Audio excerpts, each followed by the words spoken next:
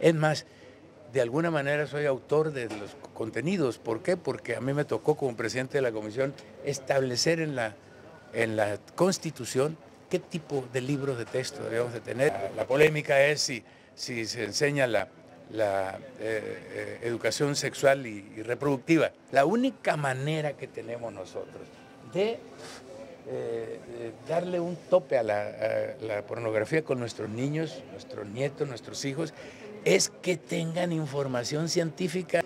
Se está politizando, pues todo se politiza.